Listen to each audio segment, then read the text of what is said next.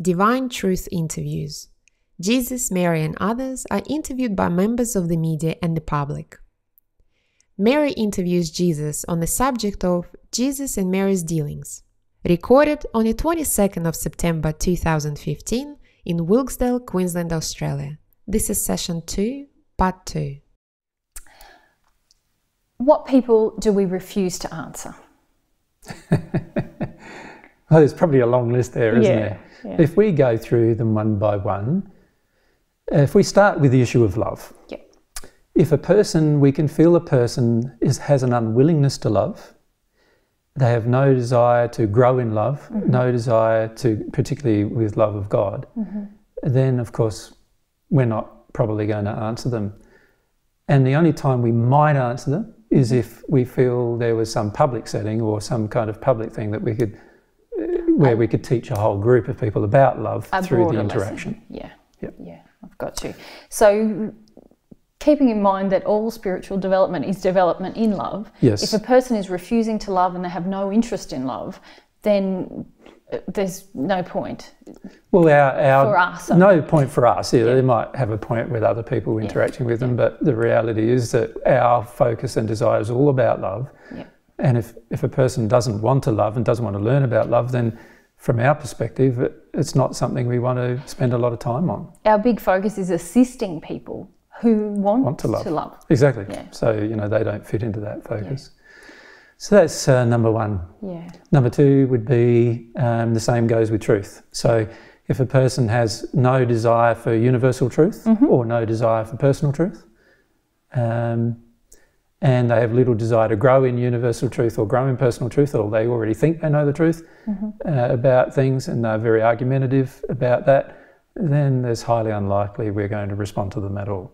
Yeah. So, you know, you can see that people like Christians who write us a whole heap of things about the Bible, uh, quoting a whole heap of scripture and basically lecturing us and not asking any questions, it's highly unlikely they're going to receive a response because we can feel from them that they don't want truth. Yeah. They don't want to know the problems with their belief system.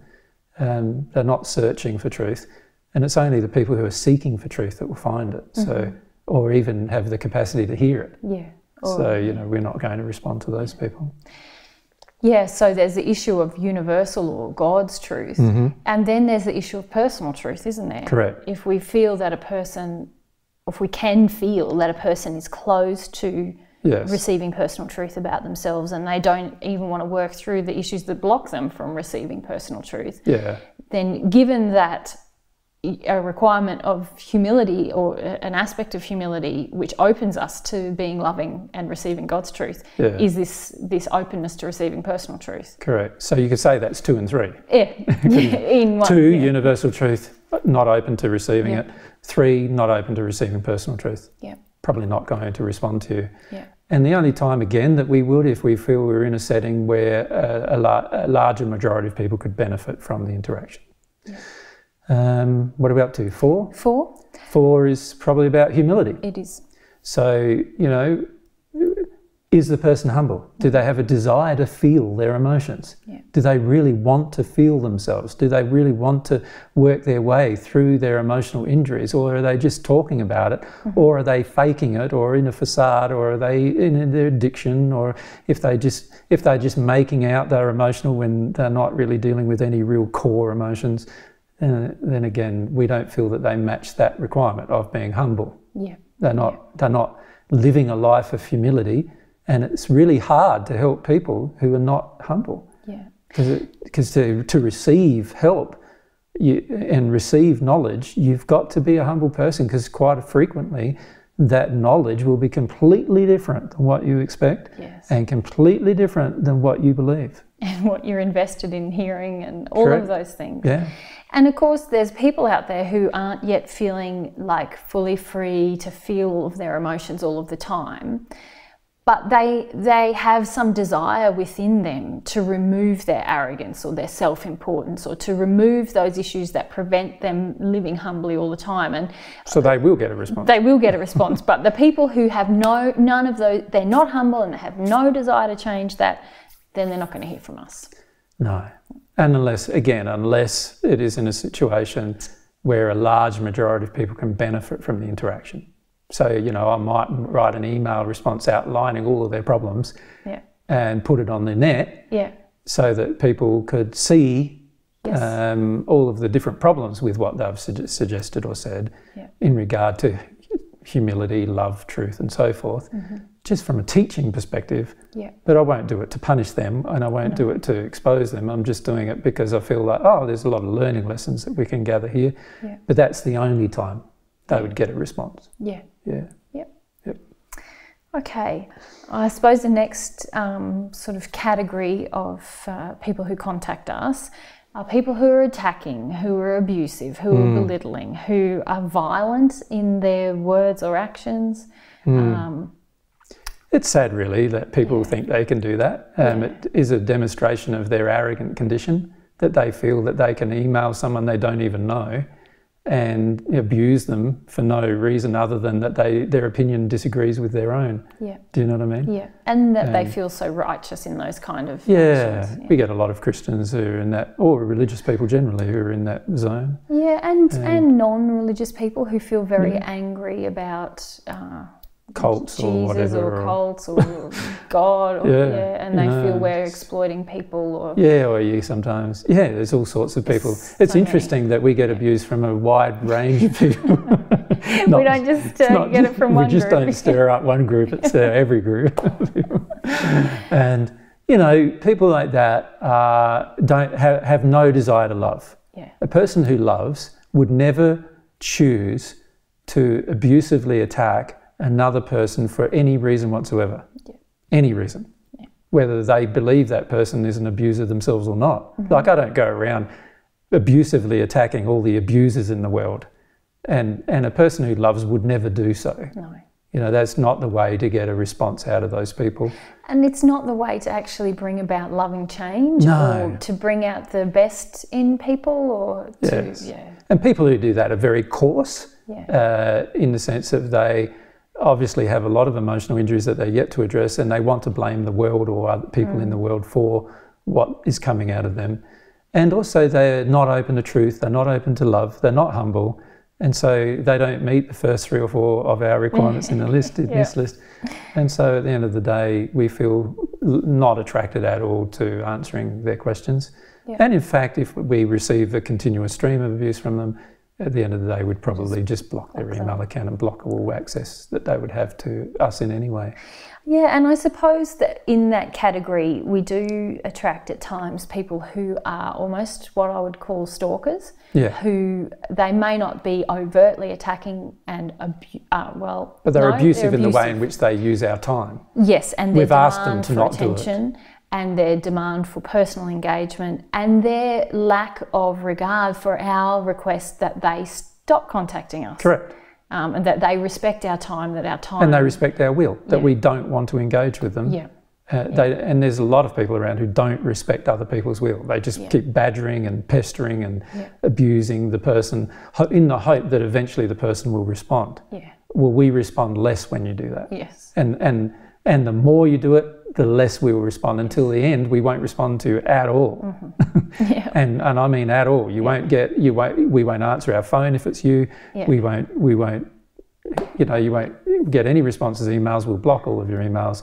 And, you know, that's because, because those kind of people are, have proven to us there's no desire to love. There's no desire for truth. They're not humble. Yeah. They have no, they all, all they want to do is harm somebody else. Yeah. Well, if that's what you want to do, sorry, go and do it. I'm sorry that you have to do it. It's Yeah. a pretty sad statement of your own condition if you want to do that. Yeah. But it's certainly not something we're going to enable. Hmm. Yeah, and sadly, we have people who write to us using one email account and we say, please stop contacting us. They continue to do it, so we block that email account. Yes, They create a new email account. yes, which is a demonstration of how unloving they are. Yes, that they do not want to respect. So they try to circumvent the rule. Yeah, And, and this is what they try to do also with God's laws. They're always trying to maneuver around God's and God's laws and mm-hmm. trying to maneuver themselves around that law and this law. And, mm-hmm. you know, and that's what they're like with God. That's what, if they're like that with God, they're going to be like that with me and vice Yeah. versa. yeah, And at the end of the day, if, if you like it with anybody, you like that with God. And I just feel like, right. well, if you're basically proving that you're a lawless individual who basically just wants what they want, and and, I'm and not feels very en- entitled. Entitled to. Well, yeah, it's to entitlement, demand, anger, rage, all sorts of emotions that drive it. But at the end of the day, it's not a sincere emotion of progressing that Yeah. drives it. And so we really don't want to have much to do with you Yeah. as a result. develop some sincerity. If you want Yes. to, if you want to have some interactions with us, develop some sincerity. Yeah. Be honest. We're, we're happy to have ang- uh, interactions with people who are even angry, but they're honest yeah. And who even can see their own la- their anger as their own lack of loving con- concern or consideration for others. That's a much more honest person. Yes. And yeah, I often feel that if only people could feel our feelings towards someone who approaches us in sincerity, um, as opposed to people who approach us with demand and abuse, like we just have a policy. We cannot give you attention for our own good, for your good, for everyone's good in this situation. We cannot go there. Whereas some people who write to us who perhaps they're struggling with humility or personal truth, but there's a real sincerity, then our heart is very Yeah, just like, like God loves those kind of people, and, and we do too. Yeah. God, God really enjoys interacting with people, whether they're angry or not, whether by based on their sincerity. yeah, And and you know, while I feel if a person is just swearing because that's what they sincerely feel, well, I go, well, if you sincerely feel that, if you had true sincerity, you would recognise that, that that's out of not a loving thing to feel. Yeah. So there's obviously a problem of some kind. It'll be great if you recognise that because if you don't recognise that, then we're probably not going to have much to do with you either. yeah, And by the way, God doesn't either. yeah, Like God's love cannot flow to a person who's in rejection of love or rejection of truth or rejection of being humble. It, it- just can't. yeah, So why do you expect us to mm-hmm. care Or about anyone about it yeah. when God Yeah. herself doesn't does not respond to such things? yeah, And and God cares about the individual just like we do. Like we care that people are in that state. It's mm-hmm. sad that they're in that state. They have to have got in, in that state through not only a lot of actions other people have taken towards them, but also through a lot of decisions of their own. yeah, And it's sad that they've made those choices and decisions. But at the end of the day, we can't change them. All we can do is prevent ourselves from having our time um, used up by them. yeah, In the end, we don't, we're not angry with them or upset No. with them, but we don't want our time used up by them. that's right. That's right. It's just like I said, it's a simple decision. Mm. We just can't go there. Mm. Um, all right, so, yeah, so the- that's the abusers that's and the, the attackers and the. people who act in violent ways and they've got no sincere desire to change. And by the way, that is if they we notice that they're nice and kind to us, but if they're violent to other people we know or have observed them being violent to other people we know and like being so, Yeah, then we go, hang on a sec, if you're being kind to us and not nice to other people, then actually you haven't learnt the lesson here. Yeah. You're only nice to people you respect, and, and you're not nice to everybody. And a person who, you know, wants to know about love wants to be loving to everybody, not just to people they respect. yes, Yeah. yeah, exactly. Hmm. Yeah. All right, well, let's talk about six, uh, the sixth category, if you like, which we've Yeah. already kind of touched on, Yep. which is this is people who are controlling and manipulative and they've got zero desire to surrender to God's laws. Yeah, honestly, I have very little time for these kind of people.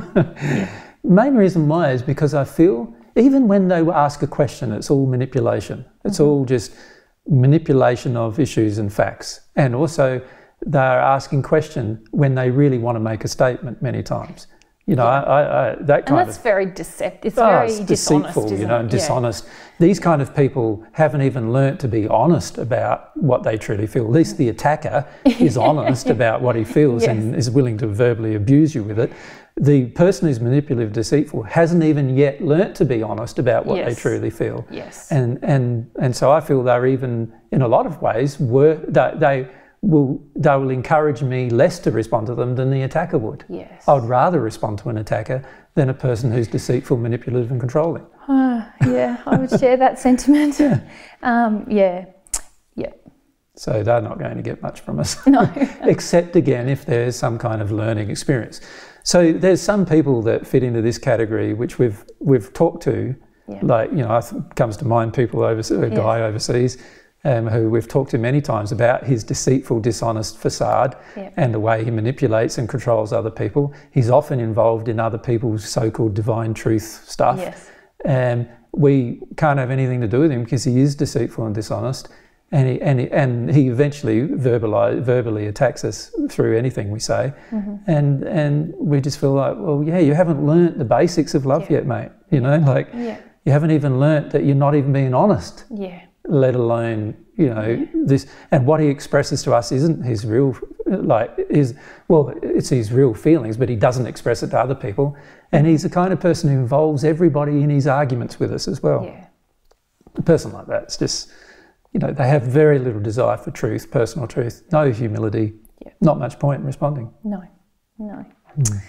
All right. Well, i probably in a similar vein, the seventh group are people who are condescending, belittling, ridiculing of ourselves or others, hmm. and that they can't even see that they're being like that, and they just don't even want to change it. No. There's a lot of people who have a really strong emotional injury that they believe themselves to be superior to others, and that superiority comes across in every word and deed they engage, and yet they have no personal awareness or knowledge of their own condition.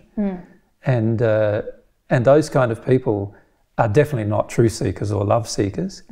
Um, they often are in a facade. They want to give the impression they're seeking truth and the impression that they're loving Yeah. when they're not. Yeah. And we find them very obnoxious actually Yeah. and have very little feelings of attraction towards them. Yeah. And uh, again, only will engage them if there's a learning lesson for a group of other people. Yeah. Yeah.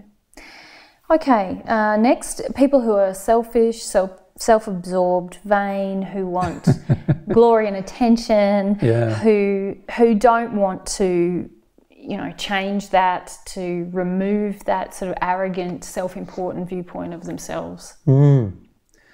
These people I have a bit more compassion for Yeah. um, because they, you know, the world today is creating self absorbed children, you know, who only see themselves. It's a huge injury. Yeah. And they only see, they see themselves as the center of God's universe. Yeah. And almost they see themselves as the God of the universe Yeah.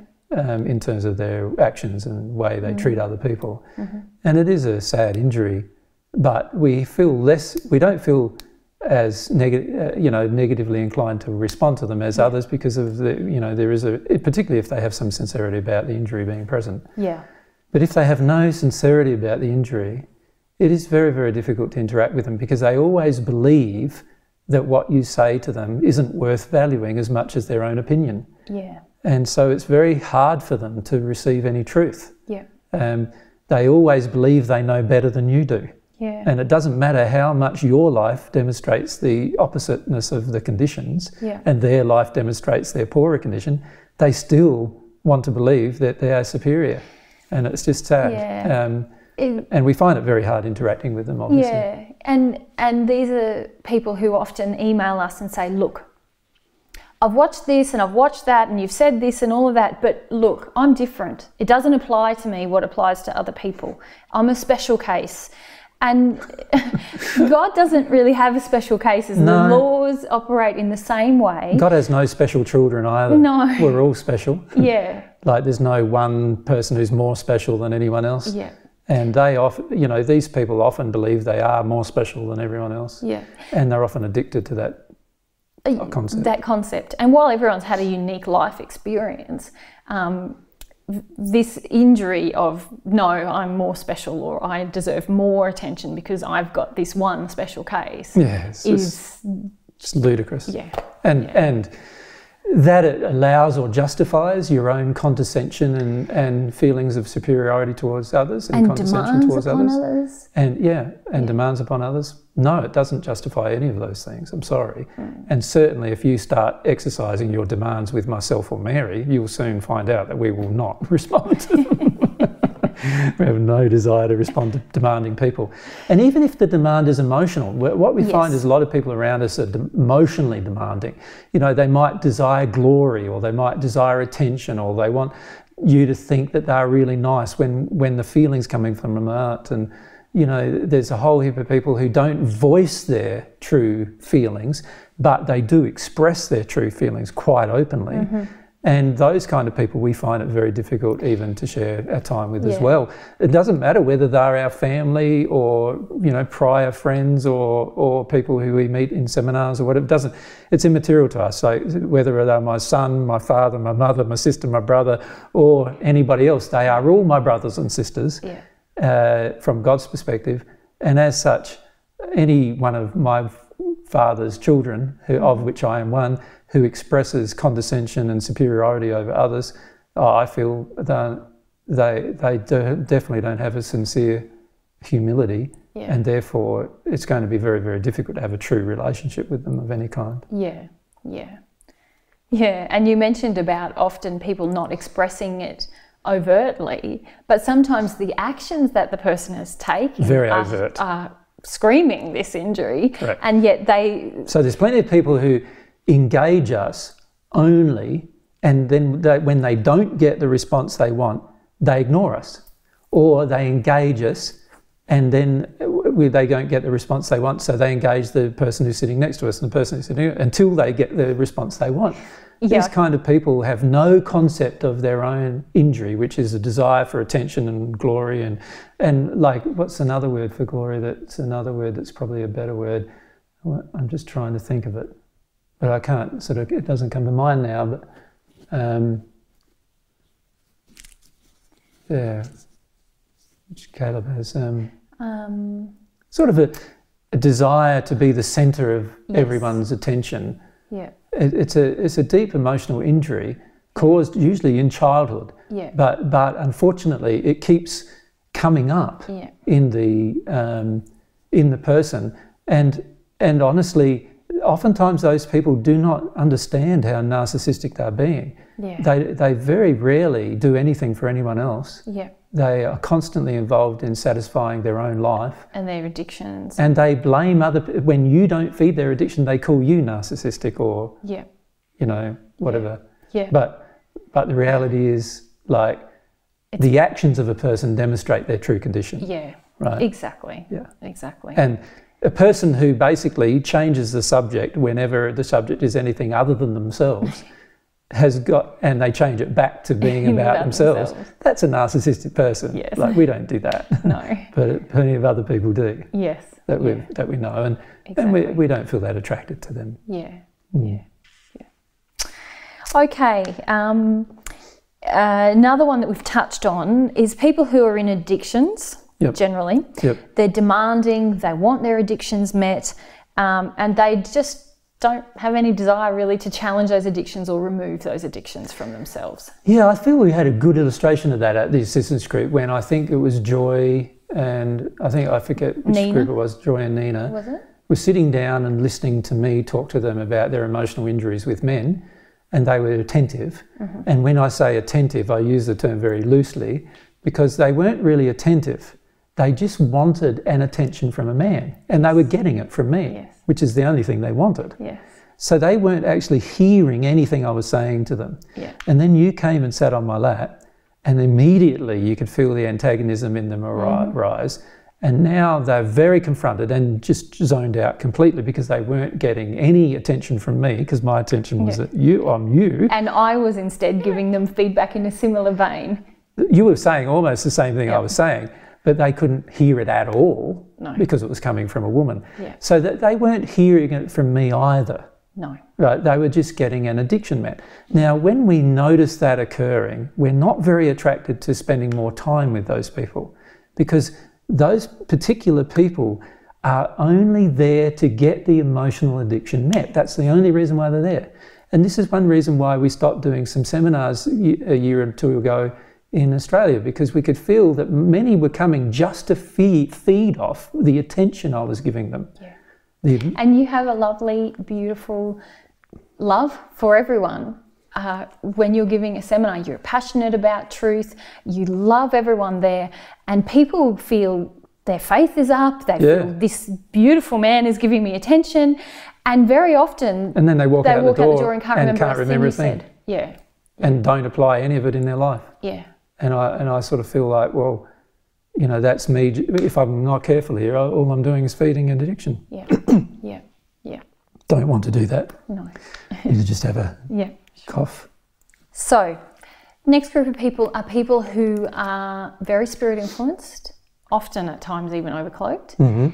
Uh, that and that they quite like that influence and they don't really want to do anything about it. They don't really want, Want to to change. change. Yeah.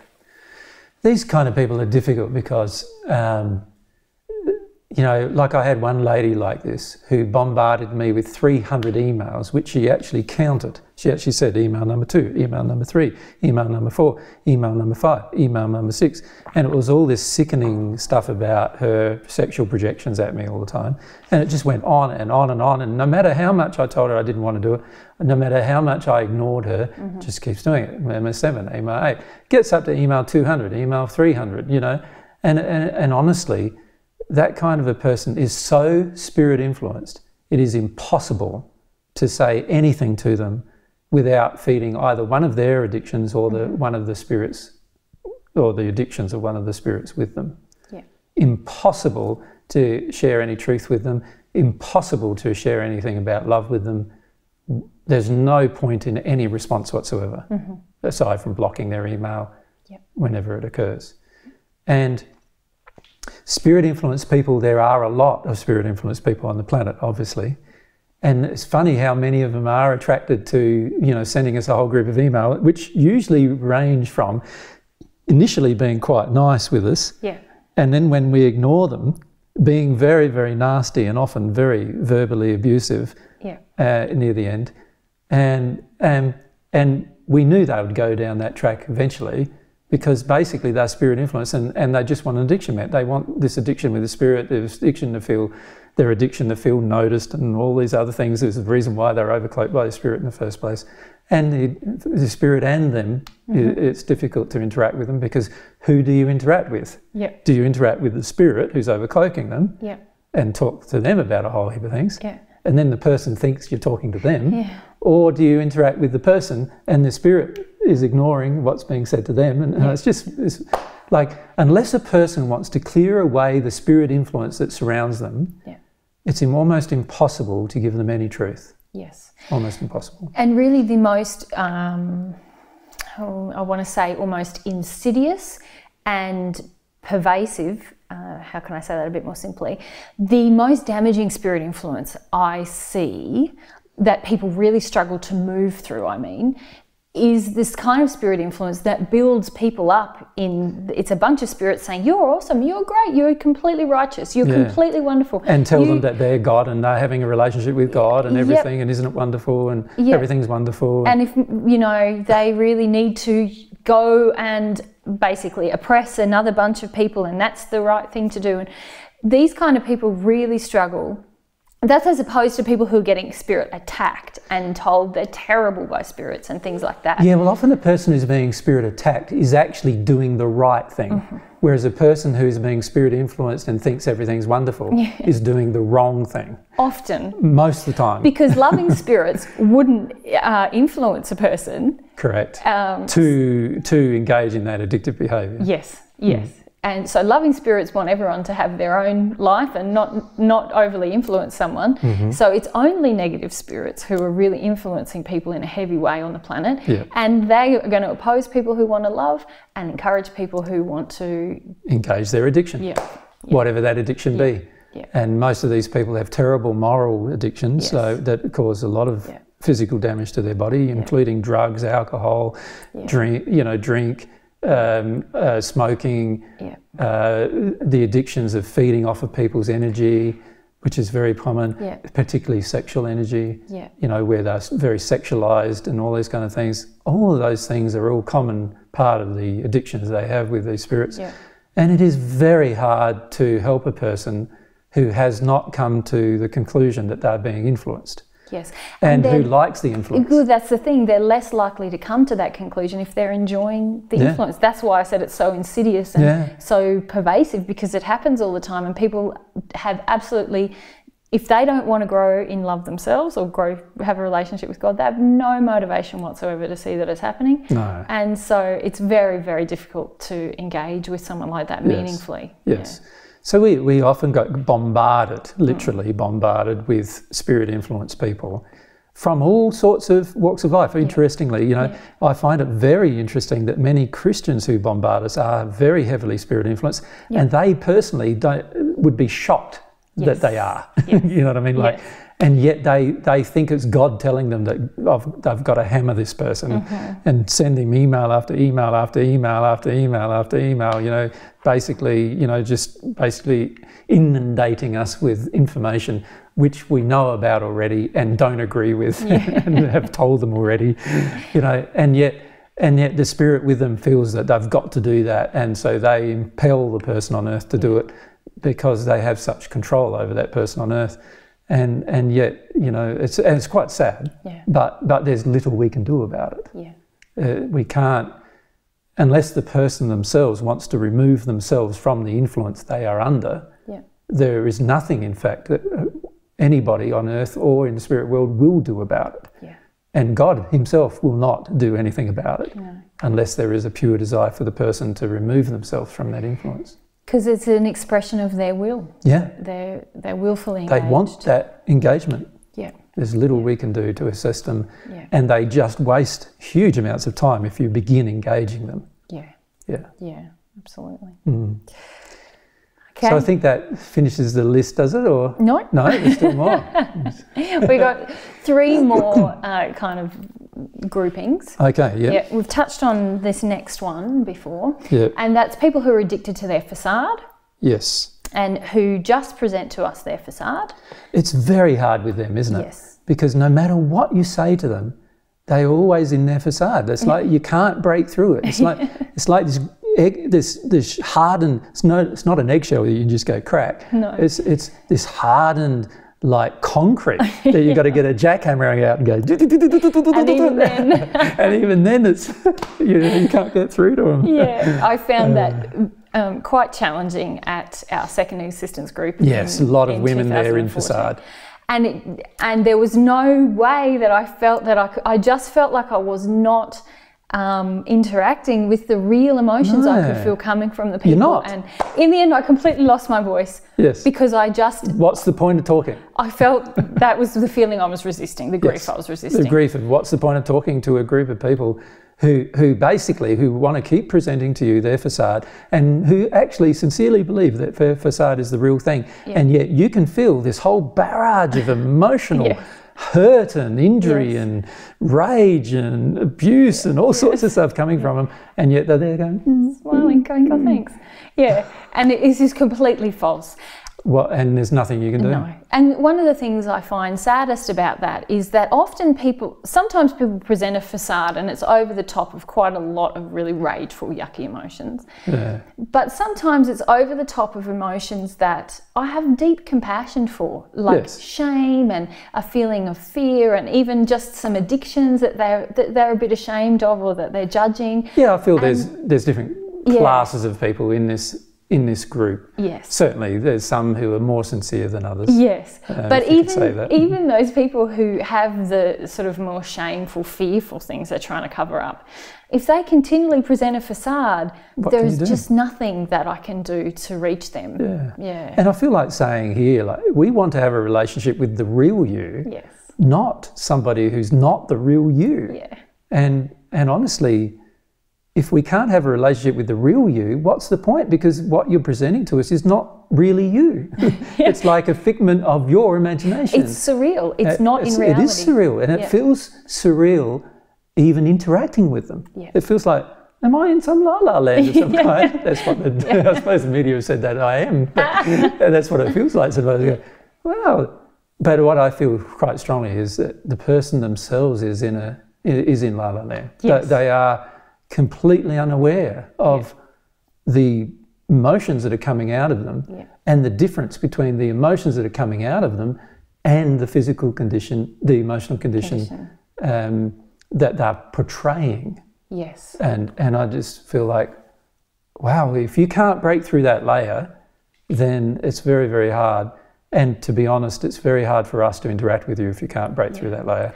And the very sad thing is, you mentioned it about being concrete. Sometimes to me, it literally feels like a bubble that the person has put up around them that is sort of um, stretchy. So, Spongy. you know, you try to, you can't touch that person with your love even for No. them because they're they're blocking it, and so Yeah. it, it's sort of separating them from any loving regard that I And they for them. also have a tendency to maneuver yes, and manipulate. and this is where we get back to the controlling and Yeah, manipulation. and they have a tendency to maneuver around what you're saying or not apply it to themselves. And Yeah. there's a whole lot of reasons why they do that, of course, emotionally. But um, yeah, those kind of people, very hard for us to respond. And to respond to such a person in writing is impossible, actually, Yeah. Because they will read everything you say thinking they already do it. Yes, and I just had an interaction today on Nikki's forum actually trying to help someone with some truth, and they wrote back it was just completely in facade, and I sort of felt like I really don't know what more I can say because Well, all, they, all we can do is encourage Nikki to remove them from the forum. Hmm. Because at the end of the day, if you're in such a facade, you're not you're presenting your real self. You're not going to learn anything unless you do present your real self. And, and so, yeah, there's a deep need for us to, to actually show when a person's being unloving. And, and they're being unloving not only to themselves, because mm-hmm. they're not recognizing their true condition, mm-hmm. but they're being unloving to other people because they're trying to present a condition to somebody that's not real. yeah, And, and, and it's very confusing. And this is why children are often very confused. They see the smile of the person's face, but the feeling they're feeling in, in them is, oh, this person's terrible. And they're seeing the smile, oh, the terrorist. And this is why the children often, you know, they're often reacting to the, what they're really feeling from the person rather than just a smile on the Yeah. face. Mind you, of course, they're often reacting to their parents' yes, reactions to the person yes. as well. But uh, yeah, I just find it very interesting how a lot of these people have no idea that the facade is not who they are. No, and and really that was a big turning point me in me deconstructing my facade was recognizing, hey, I want to hold on to these beliefs about myself to maintain my own self delusion about where I'm really at Yes. and who I really am. Yes. And it's all about me trying to maintain control over not only other people but what Well, what's in the really end, the only purpose for a facade is to maintain control over your emotions, which is actually a lack of humility. Exactly. So a person in facade often has just as much a lack of humility as a person who's angry. Yeah, Mm. yeah, very true. Okay. Uh, the other people that we don't respond to are people who, um, these are people who write to us and they lecture us. They think they're doing us a big favour. Um, uh, they want to correct us, and they often use sort of third party material to make a big point with us um, to try and really they really just want to make a point. That's something that you've touched on earlier. They're really uh, trying to force themselves into our life in order to to basically suppress and correct us. Uh, is that a, is that a good Yeah, no, that's a pretty good summary of, of the kind of people. And yes, of course, like, like honestly, we've we spend a lot of time in analysing the truths of the universe, hmm. much more time than the average person spends because of the way in which we live our life, all through our life. Hmm.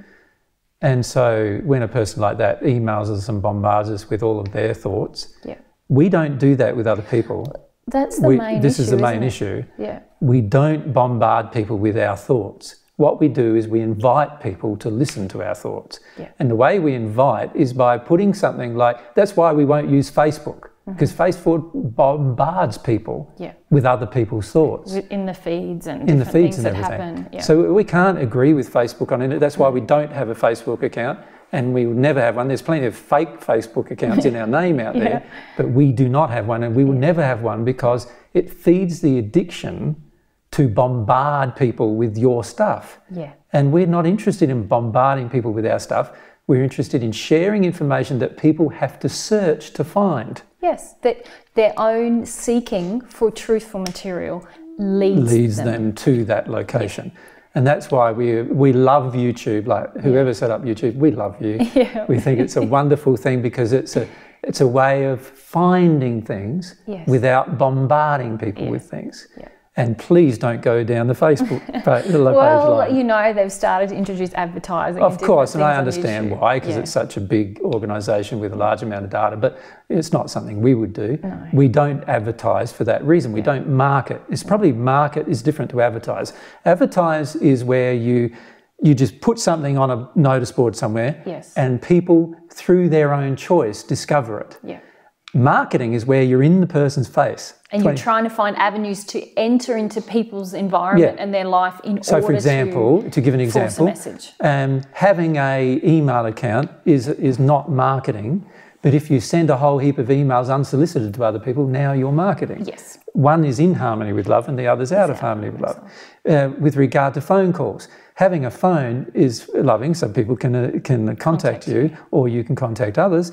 But having a uh, you know, a marketing strategy where you ring up people unsolicited to force things upon them. That's marketing and it's completely unloving. Yes. It's out of harmony with free will completely. If a person has to tell you no before they've told you yes, before you've said yes. no, before they've told you yes. Yes. I see what you're saying. Sorry. If a person has to tell you no yeah. before that person has told you yes, Yeah. Then you're out of harmony with love. So if I say, "Would you like a drink of water?" and you say yes, Yes. then I've enabled your free will choice. Correct. Whereas if I go, "Here's the water," And take I've got the to take it and I've got to say no, I don't want it. That's unloving. yes, Right down to that little example. yes, And people don't realize that, right? People don't realize that if if I'm forcing you Mm-hmm. into saying no, then I'm already being out of harmony with God's love. exactly. So I'm definitely never going to be not going to be at one with God in that state. No one at one with God in that state is in that state. In fact, everyone at one with God is so sensitive to the will and the true desires within a person's heart. Yeah, you don't even have to say no. they don't even offer a single thing until they can feel The yes. the yes. Yes. And and this is a very important, and this is, I suppose, another one of those truths that I, that you know could be quotable. Yeah. If you have to say no to a person Yeah. before you've said yes to a person, Before they've said yes to you. no, no, no, get it.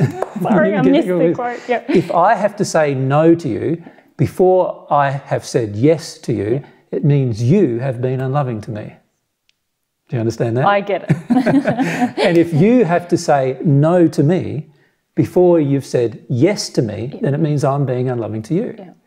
And you can take it down to sexual interactions, to like if I've got to say no to you when you're coming on to me sexually. Yeah. before I've said yes to you, Yeah. then basically you're coming on to me without any any um, respect of my free will, yes. and that's out of harmony with love. Yeah. And and these kind of people do that all the time. Yeah, in fact, a lot of the people that we've spoken about in this list All do that. All do that. Yeah. Yeah. And that's why we're not interested in interaction. Yeah. Because if I've got to say no to somebody before I can say yes to them, Mm-hmm. uh, we're, they're already out of harmony with love and demonstrating their disharmony with love Yeah. already. Yeah. And and I and I have very little desire to spend much time with such people. Yeah. Yeah, we want to spend time with people who we can feel from them a desire, and we go yes to that desire. We want, you know, instead of it being forced upon us as a demand. Yeah. A person who's in a demand is say, you've got to say no to before you say yes to generally. And look, Eh, you usually, even if you say no to one demand,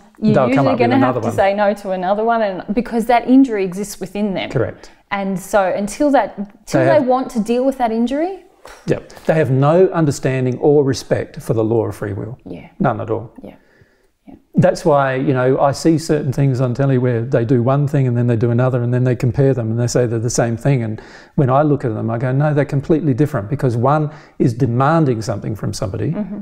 and even demanding a no from somebody yeah, before you'll withdraw. And the other is waiting for the other, for the somebody's yes. yeah, And that's a much better thing to do. So, so for example, newspaper advertising mm-hmm. Is much more in harmony with love than email marketing or phone marketing. Because newspaper advertising is waiting. uh, People have to buy the paper, Yeah. they have to look up the pages, yeah. they have to search, They have to decide, or am I they reading to that say bit yes. or not? Yeah, They have to search it all because they want something yeah, yeah. right?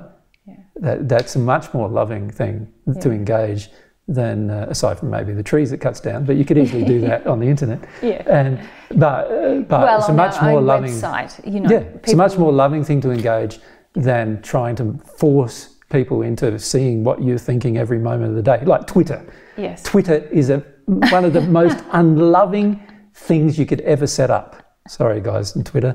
It's I know you spent a lot of programming time doing it, but honestly, it's one of the most unloving things you could have done, as long along with Facebook, and and those kind of the reason why those kind of places have taken off Massively. is because they feed the addiction of people to be involved in other people's lives yes. forcibly, and to have other people involved in their lives and- forcibly. and it it this you spoke earlier about the self-absorbed child that is Yes. growing up in the world today Yeah. and a lot of these things reflect that in they they're generated through that injury and Yes. then they compound that injury they grow that injury they make Yes. people feel that it's perfectly normal to have these very intrusive uh, all about me driven kind of uh, what do you call them aspects of our world Well, it's, I suppose it's a reflection of the narcissism in the world that most people who are even involved with these accounts have no idea that they are themselves being narcissistic. yes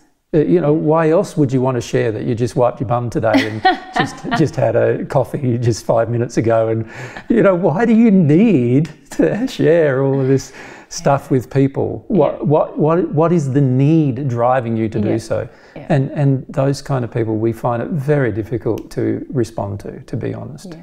because we can feel the huge addictive need. And to respond to such a need is out of harmony with love. Yeah. No celestial spirit will respond to that person Yeah. ever Yeah. until they get out of that.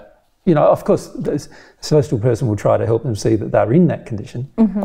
But they can't do it by communicating with them because as soon as you communicate with them, you're responding to the need. Exactly. So you can't. You've got to do it through some other Yeah. avenue. Yeah. Yeah.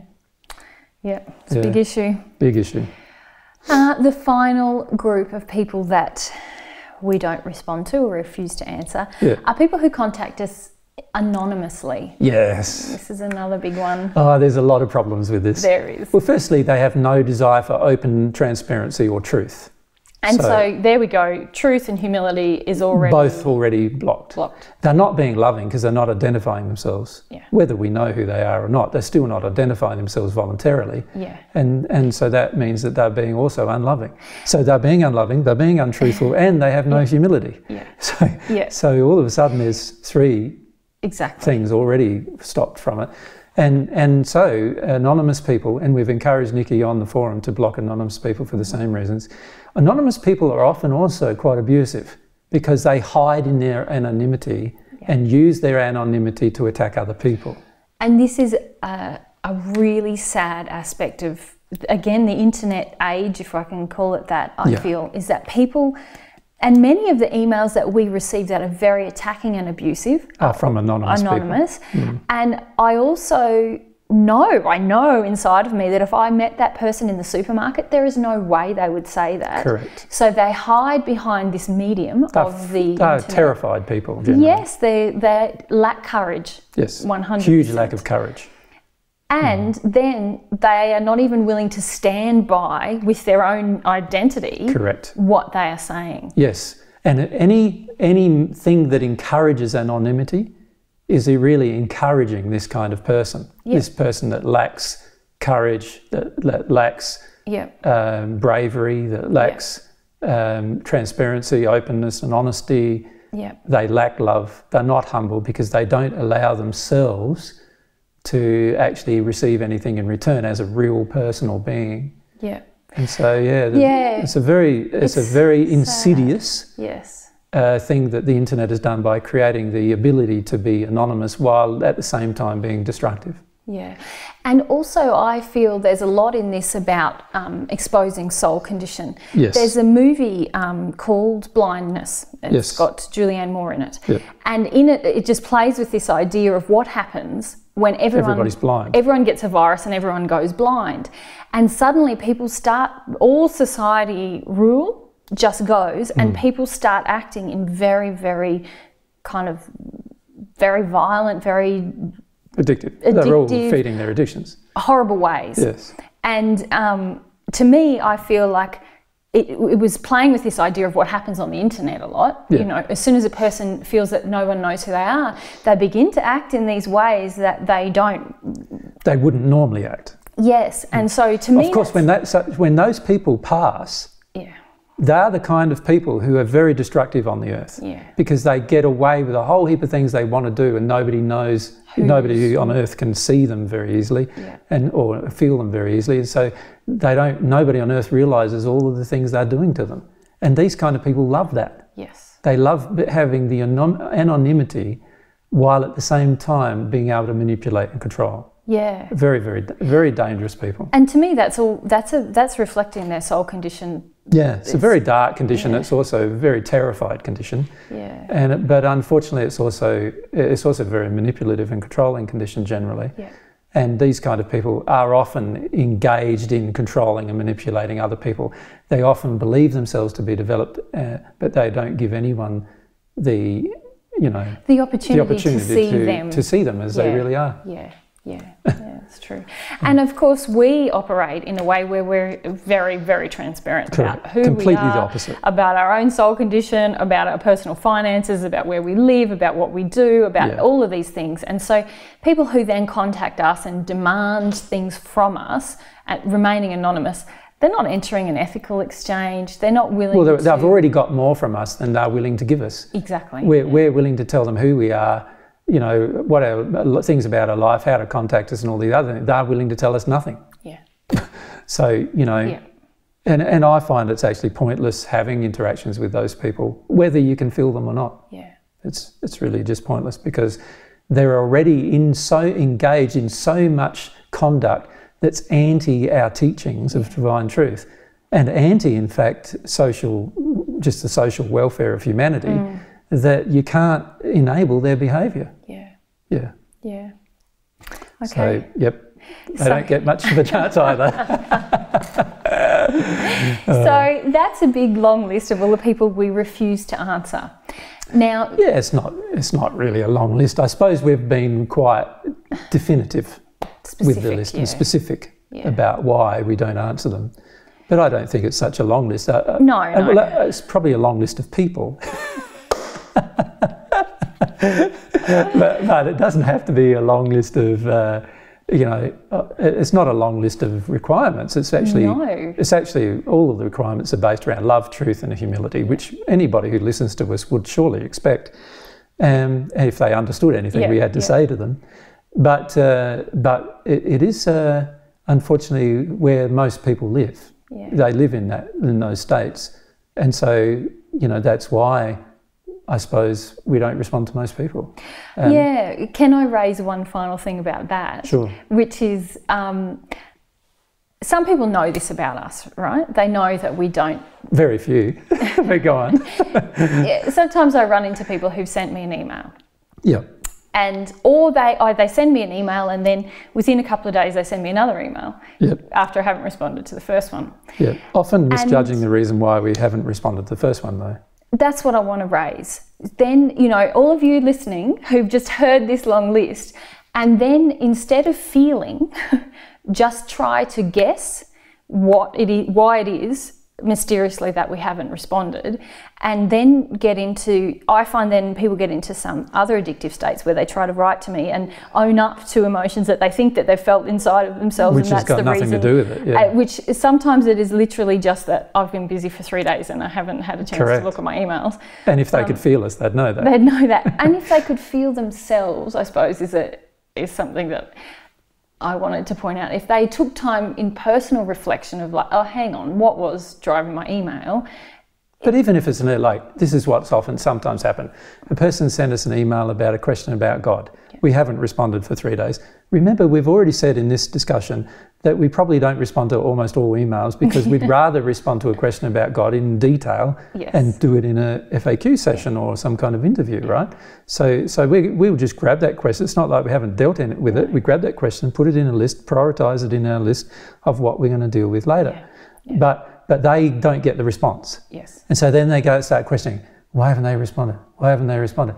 There must be something I did. Now they'll either be angry and send us an angry email, Mm-hmm. Yeah. or they'll they'll go all self-reflective about things that are not that are not true. Well, it's the operation of the facade, really. Oh, of course. it? Yeah. They go, maybe it's because they think I'm this, and maybe it's because they think I'm that. And actually, there's a lot of judgment that's coming out of them now towards us, thinking things that we don't even cross. that don't even cross our minds. Yes. Actually, we, we, you know, in the case of many of them, we don't just we would not have the time to answer your emails. I'm sorry, but if you think about our priorities, you can understand why. And and they're there going, oh, so now I've got to send another email to tell them that I've worked it out why they didn't email. Yeah. Now, now, now you're in another addiction Yeah. right there and then. Yeah. You're in an addiction now. What are you trying? Why are you emailing us about that? If we never responded to the first one, either we haven't had the time to do so, or we feel that it fits into the categories we've just Yes. listed. Yeah. One of the two. You need to work it out Yeah. for yourself, but don't guess that it's something to do and judge us based on your Guess. ideas. Judge us based on what we've now told you our priorities are, Yeah. and then re-look at what you've sent. Yeah. And the fact that it's an email is already a problem for us Yeah. because it's the slowest, most ineffective form of communication on the planet. well, probably people living in 1910 would disagree with that. no, I feel a written letter is far more effective and therefore less slow Yeah. than an email. Yeah. right? That's the reality. Right. Aside from no communication at all, email is a slight improvement.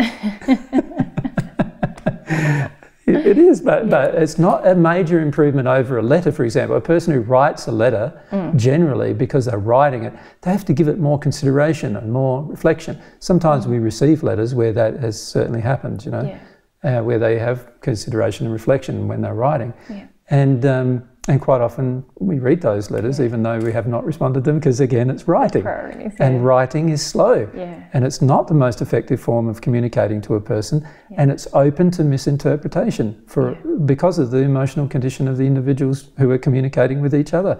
It's like it's like language. Yeah. You know, it's, it's the same kind of problem. We are used to. We've had two thousand years of interacting with people emotionally. Can you understand from that?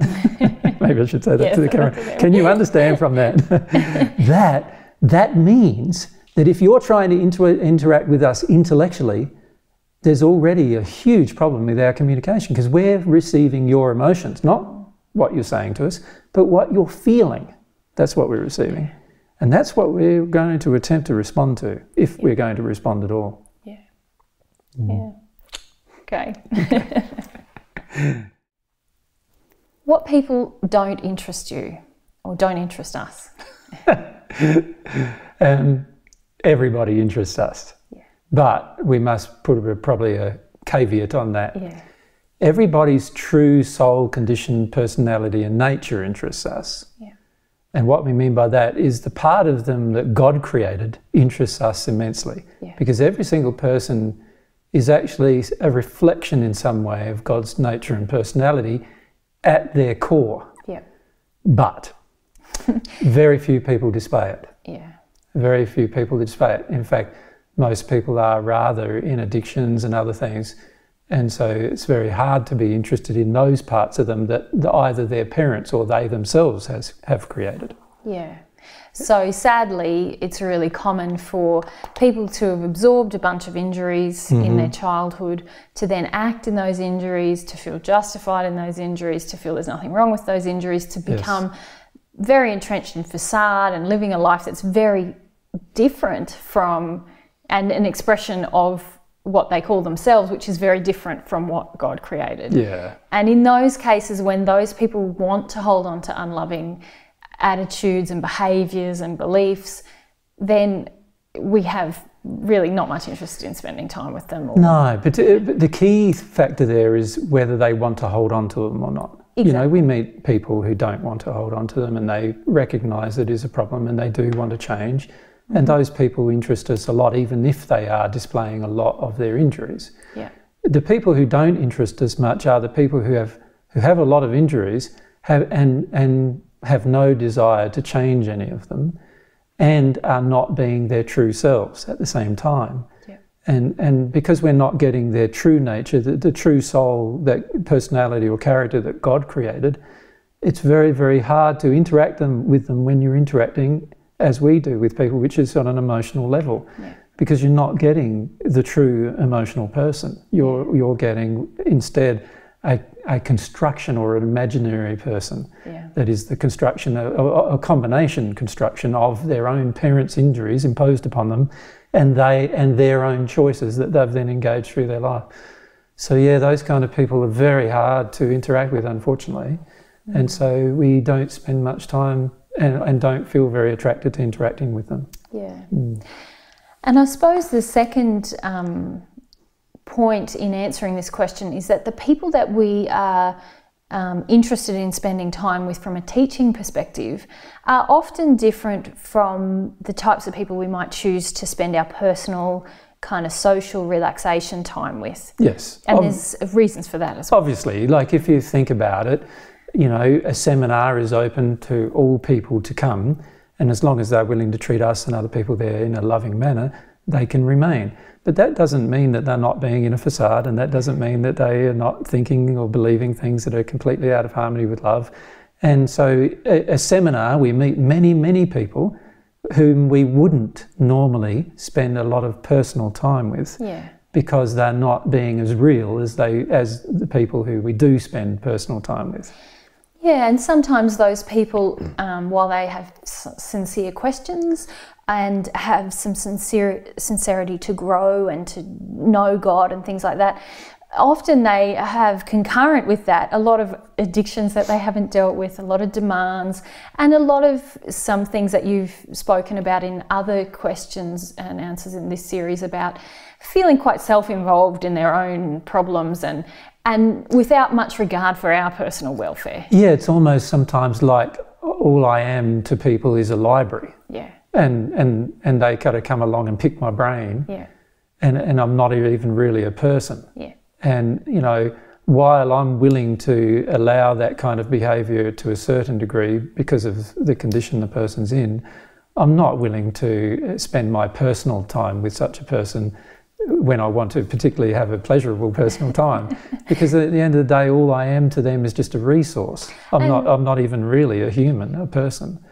And my also the other problem with it is uh, they don't understand that God has all the answers for them, and God God is capable of interacting with every one of God's children individually. I'm not. yeah, Uh, that, that's why I know I'm not God, and I know nobody ever will be who's been created by God because because at the end of the day we're not capable of what God's capable of doing. Mm-hmm. God's capable of having an emotional, intelligent emotional interaction with every single one of God's children.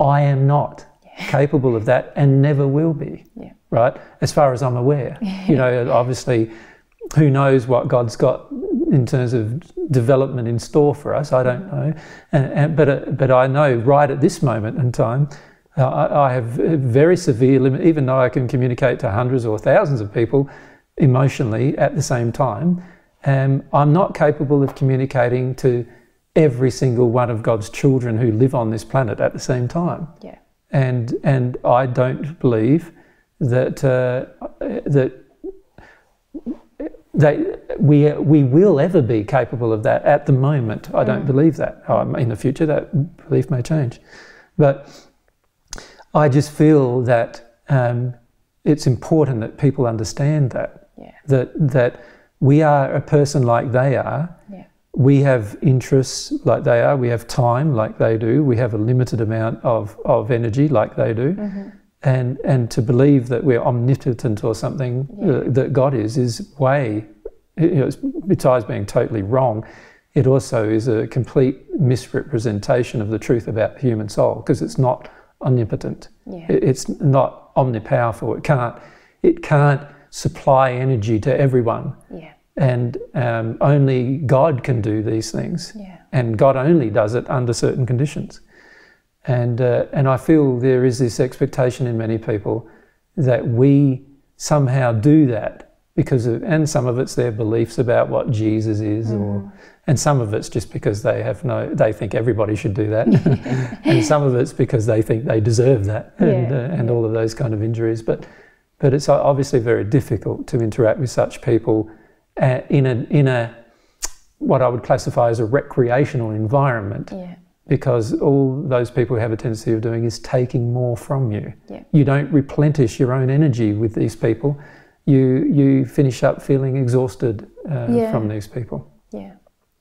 Yeah. Mm. So we're not that interested in spending so our social or personal time with those Yes. kinds of people. We are interested in spending uh, our seminar time and Mm-hmm. event time with people in all sorts of conditions Yeah. because we know that they will need to have some time spent with them before they can change. Yes, exactly. But obviously, if a person has no desire to change, Yeah. then it's almost impossible for us to spend time with them. Yeah. Yeah.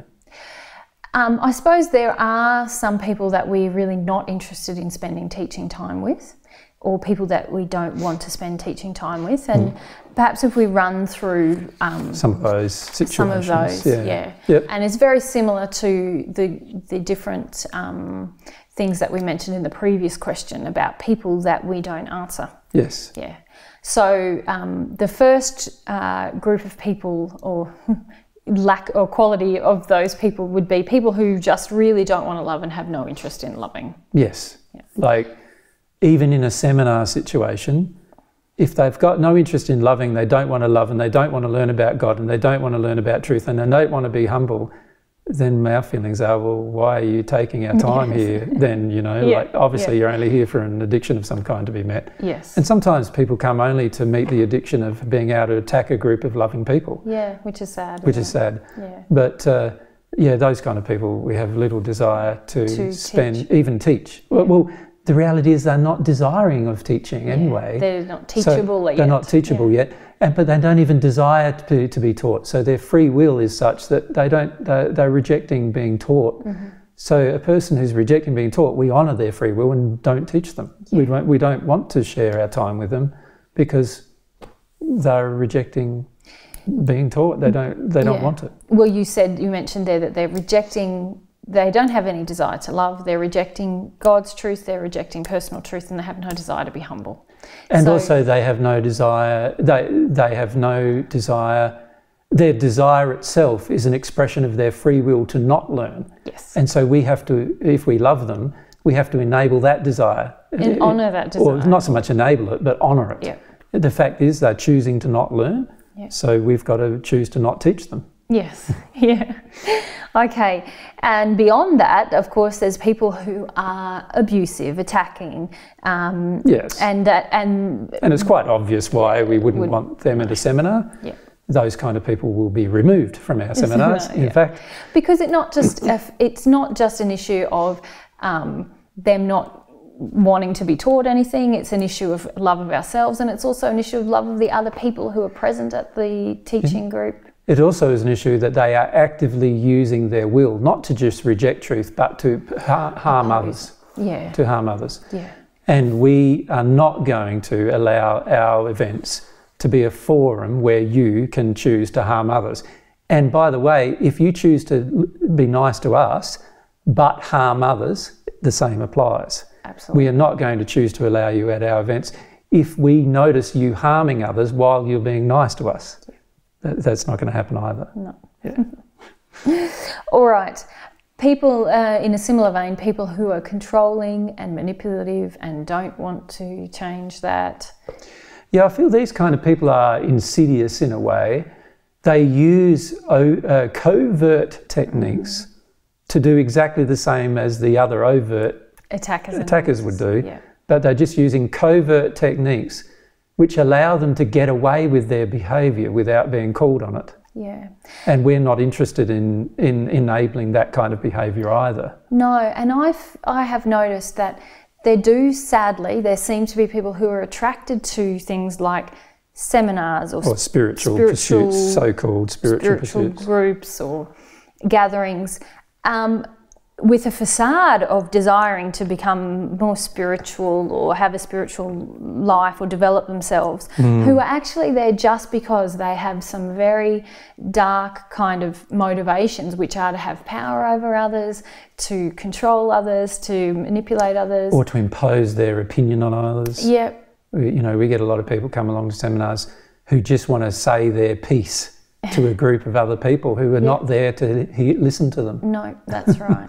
or even you mentioned in a prior question women who just desperately want attention from men, or men who just desperately want att- attention from women, and uh, so it they doesn't go along to a really seminar matter. to find some men or women. women who might give them that attention. It doesn't even really, from a heart, soul level, matter what's being spoken about. No. If they can get that addiction met, they're going to hang out in that group. Yeah, and they'll do it in a nightclub or in a seminar. Exactly. it's very, and in, in a way, in a nightclub, it's more honest Exactly, because most people are there for that purpose. for that exact purpose. Although it could be asked, uh, it could be argued with a lot of spiritual seminars that most people are there for that purpose as well. Unfortunately. yeah. Anyway, yes. Okay. Um, people also who are not interested in teaching, uh, or yeah, I think that's a fair statement, are people who are selfish, self-involved, who Well, again, the reason why we're not interested in teaching is because they're unteachable. Really, you, you can't teach them anything anyway. Um, and I should say, uh, Uh, qualify that statement. People who are in that state and they have no desire to, To change. Yeah. Because there's obviously, plenty of people who come to seminars who are in that state, but they desire change, yes, even though they might not recognise that that's one of the things they need to change. they they know that they want to become a better person or to have a relationship with God or Yeah, well, I find the people even who come to our seminars to be a better person don't interest me as much as the people who want to have a relationship with God, to be frank. Yep. Because the people who want a relationship with God are the people who, in the end, will desire to become a better person, whether that's challenging or not. Yeah. Uh, whereas the people who come to the seminars just for some personal improvement, personally improve to a degree, but they're not, uh, they're ne- never going to be drawn into perfection Yeah. because they because they get to a point where there's certain things they like about themselves which are out of harmony with love that they want to keep. And and also, would you agree that those kinds of people are often more prone to a desire for a facade of being Yeah, a better person because it's so they see it as something valuable to be perceived as a good or a better person a lot of it's image driven. Yeah, that sometimes they'll reach a point where God would really like them to know that there's quite an unloving emotion within them, but they don't want to go there because it threatens their whole concept Yes. that they're all about being a better person. yes. And um, I, I see a quite a lot, lot of of people, people, run into isn't that. there, that- yeah. Fall into that category sometimes. Particularly, it seems to be women Yes. because women seem to have a very strong. Men seem to have it with their intellectual prowess, and women seem to have it with this concept that many women believe they are better than men because they are already emotional beings. When we actually see them being emotional beings who are very out of harmony with emo- uh, loving, loving emotions. Controlling and manipulative with their emotions. Yes. Which is very, I feel very sad about that sometimes. that Yes. That's how um, people begin to view femininity and emotion, being humble and emotional is this As being manipulative, terrible kind of expression of women being controlling and manipulative with their emotions. And I understand why then some men feel very a lot of distaste for that because in Well, fact it is distasteful. yes. But then when they think about being emotional, a lot of people then equate this emotional expression with this thing that is very opposite. Yeah, so, but I, I see that so-called emotional expression as not emotional expression, but but rather it's a facade of emotional Mm-hmm. expression. It's really um, there's a word for it that I that again doesn't come to my mind, but um, that's happening a bit today. um, but but where they're portraying themselves as being something that they're really not anyway, Yeah. and it is it is it is duplicitous and deceitful Yeah. and uh, yeah, very hard to enjoy the company of a person who does such a thing. Yeah. Um, Yeah. so- and and you know, um, it's not good to aspire to that state either. it seems many women do aspire to that state, while many men aspire to the rigid, rigid intellectual state. Yeah. Um, and both states are out of harmony with what God created us to be. Yeah. Um, it's actually the intellectual state needs to be brought to the, the true emotional condition before you where God really wants you to be. And this this very controlling, manipulative, facade-based emotional kind of expression.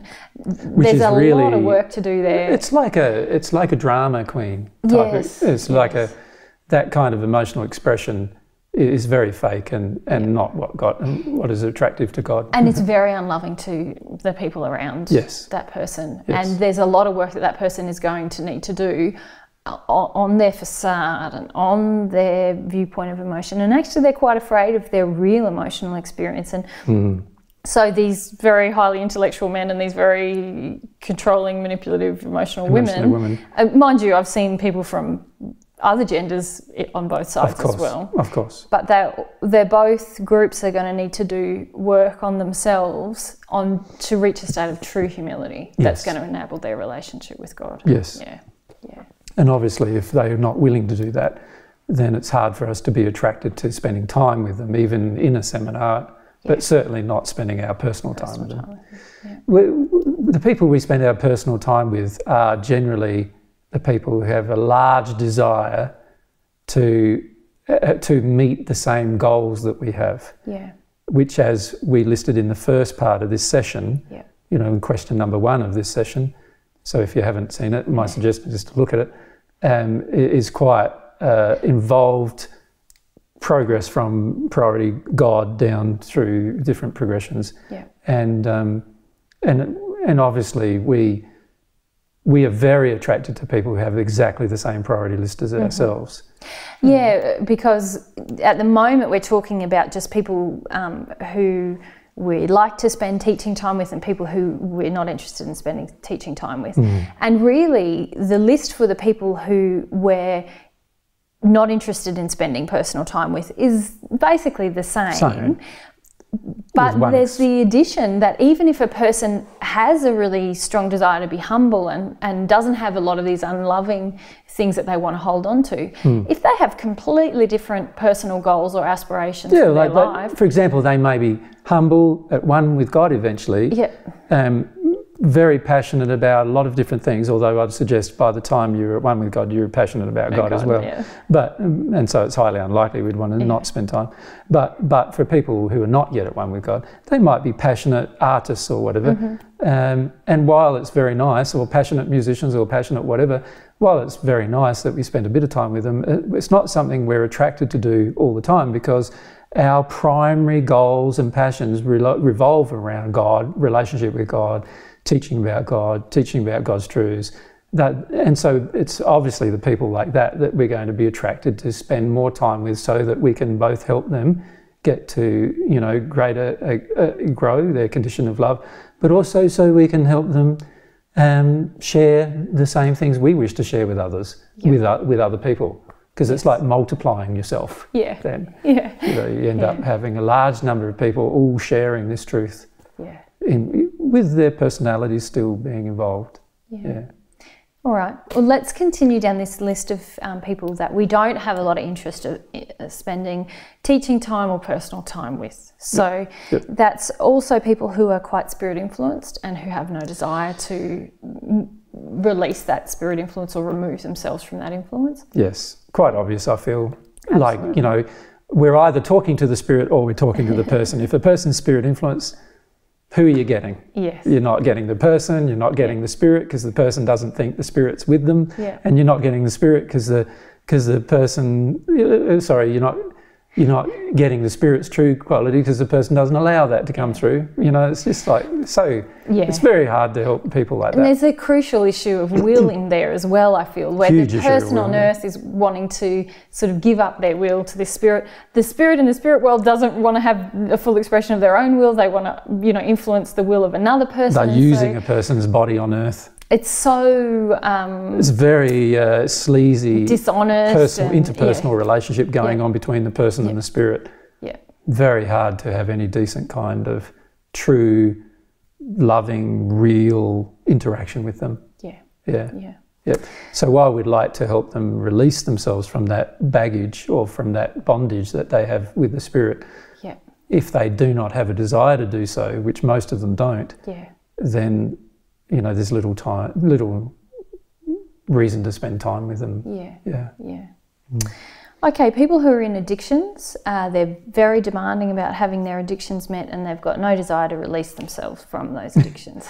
Well, that, and that's the key thing. There's there's people who are spirit influenced, but they have a desire to get out of it. And there's people that are demanding an addiction, but they have a desire to get out with it. We would definitely want to spend some time with them, even if it's in a teaching role, to help them get out of it. Yeah. But but if they have, have a deep addictions and you talk about it with them and they have no desire to change it, Now Yeah. there's little point in spending time with them. We can't feed their addiction. We can't enable it Yeah. by spending more time with them. Uh, we've just got to let them be because they are exercising their will to not address the issue. So you just got to let them be. Yeah. You can't. We don't. We don't withdraw from them to punish them. We just. We just. We can't spend time with you because you're not being real. You're being in an addiction. We we don't want the addiction. We don't want to feed the addiction, and we want the real person, and we're not getting it. So what do else? What else do we do? The only thing we can do is go and spend more time with people who are real and don't want their addictions. And we should probably say that about all these different groups and these different injuries that we're talking about and all these people. Hmm. Like you and I don't have this feeling of like judgment and all No. bad people and we're not go- it, it really feels almost a little bit um, light to me now just like no i can't i can't go there even though you really want me to i can't go there with you because it's not just about looking after myself and my time it's also that i just can't help you with that It's also about doing. loving them. exactly Like you can't sit there and engage the addiction with them and love them. no You, you and and they want you just being there. They want the addiction met. So what do you do? You've got to withdraw. Yeah. You're not trying to punish them or anything, but you've No. got to withdraw in an act of love to them because they they just think they can sit there and get their addiction met all the time, and you can't do it. If you really love people, you can't do that. No celestial spirit would ever do it. God certainly does not do it. And so any person who's aspiring to to get to be at one with God can't do it either. Yeah, yeah, yeah. All right. Um, people who are condescending, belittling, ridiculing, and can't see that that's what they're like and they don't want to change it. And Yeah, well, the we, same applies. We talked about this in the previous question. as Same well. applies. Yeah. There's not, you know, all of these people feed into the same category really is Yeah. not only are they in the state they're in, which is one thing, Yeah. because everybody's got their injuries. You know, the way the world is today, there's a lot of injuries on the planet. everyone on the Everybody's got planet, their yeah. injuries. That's okay. Yeah. What the problem is, is if you don't want to change them. Yeah. That's the problem. If you don't want to change them, then we don't believe there's any time, any point in spending much time with you if you don't want to change them. If you want to change them, we'll spend a lot of time with you Yeah. right? But we might not spend like our recreational time with you because it, 'cause it can be exhausting Yeah. trying to help people who are in those injuries. Mm-hmm. But we at least will spend some time teaching with you because we because we feel there's a valid reason to help you change if you wanted to change. So we're very responsive to a person's true exercise of their will, their passion. If their passion and will is in the direction of wanting to, mm-hmm. then we can feel that. Now, there's a big difference between them believing it's in that direction and actually it is being in that direction. There's a big difference between those two states, too. And that probably leads us to the next group of people, which is people who are very addicted to their facade. They Hmm. refuse to interact with us in anything but facade. They refuse to even acknowledge that they're in facade, even though their actions and their emotions are showing us that they have completely different feelings to what they're presenting. It's just, it's, it seems, you know, we talked about this again in the previous question. Yeah. This is, What do you do? You just, yeah, I want the real person. Like, God wants the real person. You're not being your real person, mm. and you don't even want to know that you're not, and you don't even want to change. Yeah. All we can do is honour your will and say, fair enough, you don't want to change, but I want the real person. I'm not getting it. So, I- as I said to one lady, we were driving home. She was sitting next to me, talking to me, and I said, I don't want to hear you. I don't want to even listen to you. You're not being real with me. Like, I'd rather be silent and so I can talk to God. Right? And from that moment on, she never spoke to me again, actually, even though we spent the next two days together. Um, she was staying, you know, there, and and we spent, a few, you know, she wasn't. It's not a sexual relationship or anything. I just said, no, I don't want this unreal person that you're presenting to me. yeah, I want the real person, the person who feels what she feels, not the person who makes out she feels it. yeah, Right? And uh, most people can't, who are in facade, can't even grasp that because they believe their facade is better than what God created. Well, that's exactly Sad, why it's there, isn't it? Yeah. It's there specifically because at some point in childhood or adulthood, They chose to this deny person, their they've self. decided this is a better version of me Yes. Than what God created or the hurt that happened to me and the, Yes. the childhood feelings Both. I have towards myself. Yeah. Both of those things, I don't want them anymore. I'm going to be this person, Big plastic and I'm getting like I'm getting from them. No, I can feel all this stuff coming from you. You're not voicing any of it. Yeah. What's the point of interacting with you? You don't want to voice any of it. I don't want to interact. My choice is that I don't want to interact with a person who's not being truthful with me. I don't want to do it. And I'm allowed to choose that. Yeah. So if we're driving in the same car, I'm allowed to not say a thing. Yeah. yeah. Yeah. That's right. And Just like she's allowed to be her facade self. it's really not about arrogance or judgment or rejection. It's No. just a desire to interact really. And then if a person doesn't want to, that's cool. Yeah. We're not like invested I'm not in forcing them to be with me. Exactly. In fact, most of the time, these kind of people are forcing themselves to, on me. Oh, anyway, All right. Um, the last two groups of people is people who come to our seminars who want to make their own point, who want to lecture us, who basically want to teach us a thing or two. yeah. Um, basically, that's Yeah. not the purpose of Go and have your own seminar. Yeah. That's what I often think. Like, uh, and I don't mean that in a nasty way. I think, look, if you've got that much conviction, It's very unloving to the other people at the seminar. The other people at the seminar are there to listen to somebody's teaching a certain thing. Yeah. If you're just there on your own soapbox, Yeah. then you're being very unloving to every single person there. yeah, including the person who's arranged the seminar, Yeah. done it all on their own money, their own time, their own effort, their own resources, and everything. Yeah. You're being very, very unloving to them. yeah. Very unloving to them. And you know, I had this example, it's probably a couple of years ago now, where someone wrote to me and they were in a workplace and they were sent to some kind of training course Yeah. that was sort of somehow they said it Something was something they didn't agree with. it's something they didn't agree with that was posed in Forced some kind of them. self-development or Yeah. Forced upon them by the by the job that they were in. yeah. Yep. But then they said, look, I felt I needed to stand up for truth. Yeah. And I couldn't agree with anything the presenter said, and I just had to keep correcting them. What an And obnoxious person. that was done because of divine truth, and I needed to do it. what a lot of And- rubbish. If you if you understood love, you would never have done it. Exactly. You'd never be able to do it. And if you'd received any of God's love, you could never even consider No. doing it. And if you even felt anything about the respect of will and gifts and any of these loving principles, there is no way you would do that. No, if you it. really felt that you could not handle it, which would be an issue in itself, Correct. you would get Because you're there for work. And you're Exactly. actually getting paid to handle it. And as far as I understood, there was no kind of preaching of anything evil doing. It was No. just more sort of perhaps some new age principles about, you know, positive thinking and things like that. Just natural love principles. Natural love principles, which, you know, that's love. really, of a kind. of a kind. yeah. Um, but if you're really struggling, that the thing you could do is get up and leave the room.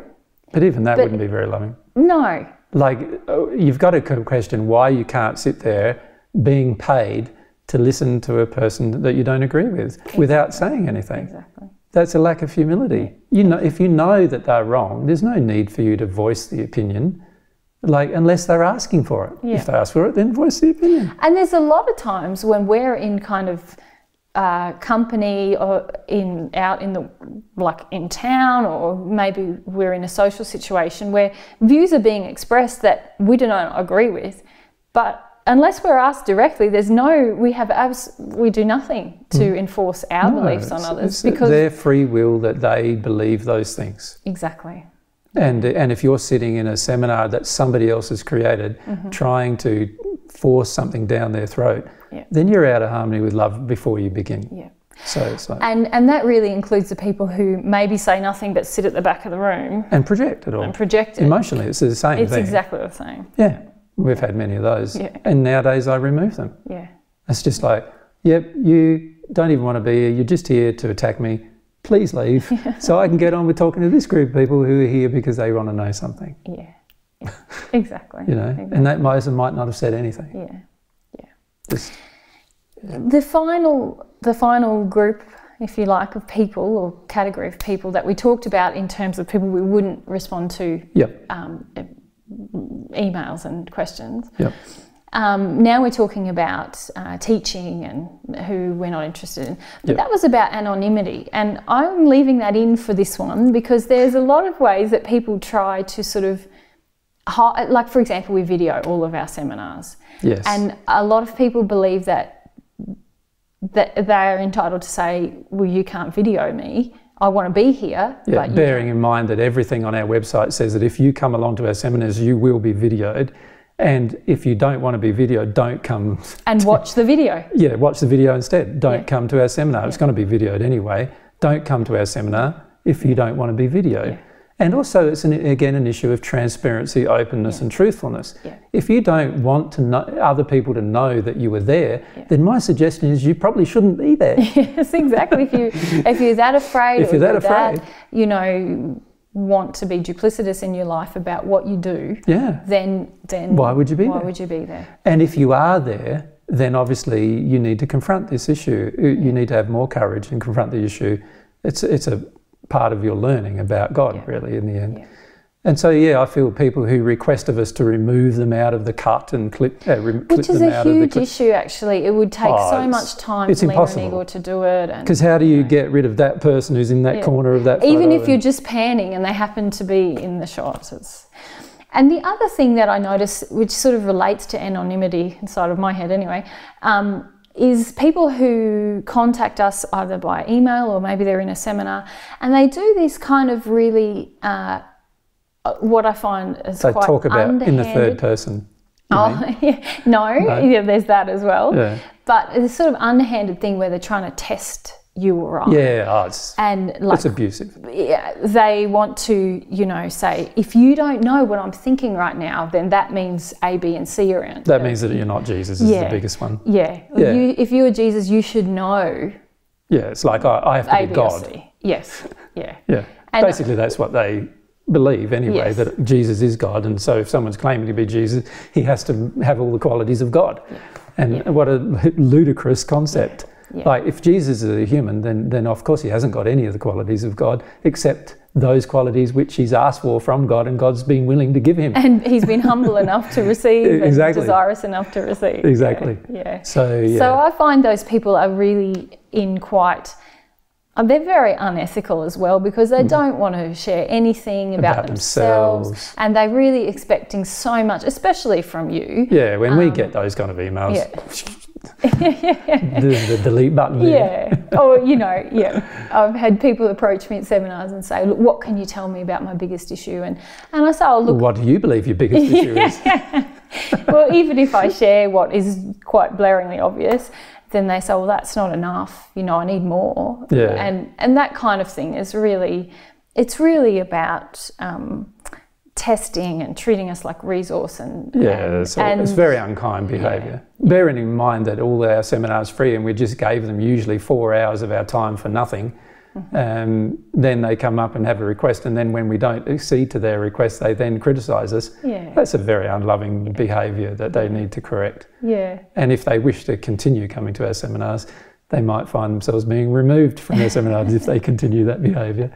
But yeah, you know, this is obviously part of teaching people about love is acting upon what is loving. Yes. And this is something a lot of people don't get, I feel, is that we one way we teach you about love is not by what we say, mm-hmm. but rather by how we treat you. Mm-hmm. And how we treat you is going to have very like if you're finding we you've got very little time to spend with us, how we're treating you is, and, and if you assume that how we're treating you is loving, then maybe we have reasons for doing treating you that way that you need to examine. Yeah. And and my and when I say treat you that way, it's not like we're attacking anybody or condescending to anybody or disapproving of anybody. We're just not going to allow your bad behaviour. Yeah. And so you know, obviously, how we treat you has a is a very interesting way for you to work work out. Because if you think about it, for many of you, we treat you the same way God treats you. Yeah. God doesn't hear you either, or doesn't respond to what He hears. Yeah. God doesn't feed your addictions. God doesn't give you approval when God feels you need to have a cry Yeah. and all those kind of things. God, God is very clear of how God treats other people. And the closer you get to God, the more you'll be like God.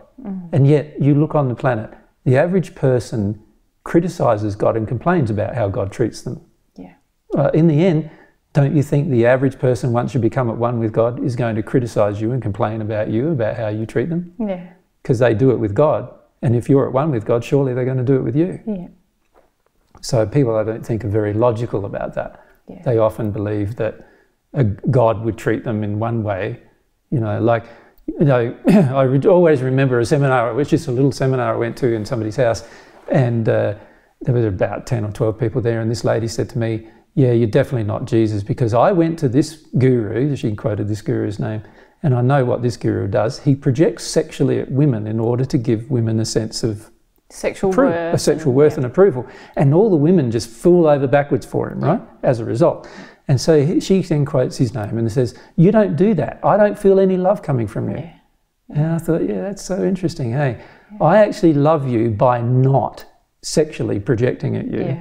Yeah. And you don't see it as love because you have the addiction that any man who sexually projects at you is love Yeah. and therefore more connected with God. Yeah. My goodness. Yeah. And that's how distorted people are sometimes Yeah. is they have no, you know, idea really what's going on with them or why they feel a certain way about people.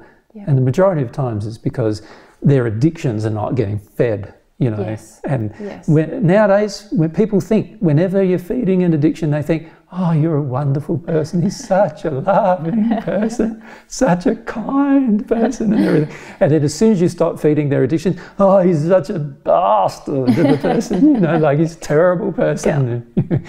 and and I find it quite interesting, and this is the reason why most people have a tendency to think God is a, is a bastard Yeah. because God's not feeding their addictive, Addictive. emotions. Yeah. And yet, you know, they don't think that maybe God has the better opinion of love than they do. Yeah, yeah. I know it's I. It's interesting, isn't it? Because everyone on earth, we're all coming from this injured state of love. That's mm. why we are not, you know, perfectly loving, and especially we're very injured when it comes to an understanding of what it means to love from God's perspective, the Yeah. absolute truth of what is love. Yeah. And so it's kind of a strange, it, if we could all lighten up about it, we'd learn a lot more quickly and just sort of go, oh, yeah, I, maybe I don't really get what this is about, or maybe, Well, like we say in our assistance groups, education in love on the planet, there's hardly any at all. It's Like, lacking. Yeah. you know, uh, I just had an email a few weeks ago from a man. I think he said he's got one of the only courses of love in a university that's ever been done in, in the US. Yeah. And I go, oh, that's probably right. You know, like at the end of the day, I, I've never seen a course in love, No. you know, that, that actually teaches true love. Um, and and this is why, where God is trying to teach humanity true love, and most of humanity is just feeding on addictions. So of course, most of humanity has no interaction with God. And if the more you or I become like God, the more mm. we become at one with God. That once we become exactly at one with God, then most people will have the same opinion of us as they have of God. Unfortunately, Yeah. but you know that's and that's sad. But Yeah. the reality is, most people on the planet do want their addictions met. They do want to have this addictive projection so that they can feel good rather than working through their issues in a real way. Yeah, I sincerely hope that us growing and hopefully inspiring other people to grow towards being at one with God and so many in, in areas of their life.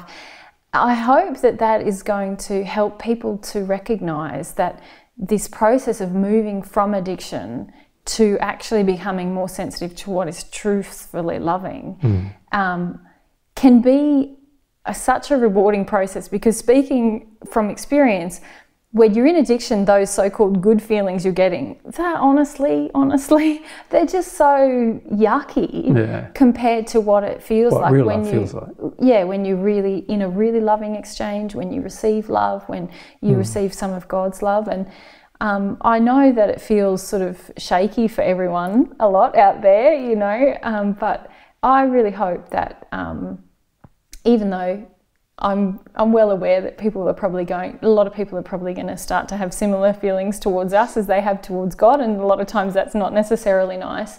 I sort of have the feeling that in the long term I hope that people come to sort of I think that's hope, more of a hope than a reality. but um, the, the reality is that any person who's in an addiction is going to be challenged by a person who loves. yeah because the person in addiction, by definition, wants their addiction met. Exactly. So, so the reality is that it's going to be very difficult for a person who's in addiction to recognize love. Yes. And that's always going to be the case. Yeah. And it's only when the person starts to work through their addictions will they begin to recognize love. And I feel Yeah. that that's the key thing. And There just is the desire for people to start to challenge addictions. If they can grow that desire, then it's so rewarding. well, you you think about your own growth. Like you could barely recognize love when I met you. I feel, Barely. and I, and now you're starting to recognize love more. But what have you had to do to get to that condition? You've had to address addictions. Yeah. That's the only way you've come to recognize love. And my Yeah. facade and facade and addictions kind of support each other and are Well, facade is all about growing. you- Yeah, they're sort of Yeah. intertwined. Absolutely. And I do understand, having been through that in recent times, you know, in recent years, that, yeah, you don't just go, oh, I'm in addiction. Oh, now suddenly I realize what love is. Like, you have to go through an emotional process of desiring to let go of the addiction, feeling the error within yourself. And that become has made me more sensitive. Yeah, it's interesting you say all that because I feel by definition that's what the path is. It's, you're saying things that I feel the path is. Everything is emotional. You have to get rid of your addictions emotionally before you'll recognize love. That will definitely occur. Yes. Like when you emotionally release your addiction, you will emotionally be able to recognize love. yes. But you can't, like you say, do it intellectually. And you can't do it without some pain. Yeah, but by definition, the path is a path of emotion. Yeah. So, so, like, you know, I feel sometimes we talk about the intellectual side of things, but the reality is, if we have to talk about something intellectually, we're not on the path. the path is emotional. the path is going through an emotional experience. Yes. So, so the reality is, unless a person wants to emotionally release the addiction, mm-hmm. They will not recognize love. And you've had to emotionally recognize and feel and experience the addictions. And it's only after then that you've started to feel even love enter you from external sources. And and I suppose what I was trying to say is it's only after that process that I've begun to appreciate true sources of love. Uh, Yes, to- because to because feel that, them it's only after that that you have the ability to feel love coming into your soul. Before then, all you're interested in feeling is the addictive emotion coming into your soul. It's like a compulsion. Yeah. Yeah. And so, so unless the purpo- the reason for the addiction, the cause of the addiction is released emotionally, Yeah. you will always demand the addiction be met. Yeah. And this is what I'm saying is that a person who becomes at one with God no longer feeds the addiction. So every single time that person talks with a person who is in addiction, the person in addiction will feel dissatisfied through the discussion, Yes. not satisfied. Yeah. Does that make sense? Yeah. Even though the person who loves is loving. Yeah. So, so, and this is what we've got to. This is why we're not attracted to to d- doing, you know, events with people who are in addiction because at the end of the day, if they desire to remain in it, Yeah. they're basically only wanting the emotion they want from the person. In, mm-hmm. in our case, from ourselves, mm-hmm. rather than wanting to be loved. Yeah. So, and they obviously have the same thing going on with God. Yes. Otherwise, they wouldn't do it with other people. Yes. So you know, we, you know, this is going to be a problem for, for them.